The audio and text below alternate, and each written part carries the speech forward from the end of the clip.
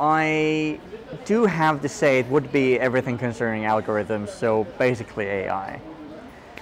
It's just we, we at the moment we might not know how to do it the best, and they might still have all the bias that the people coding them have, but that has the most immediate great potential to give a lot of benefits to us.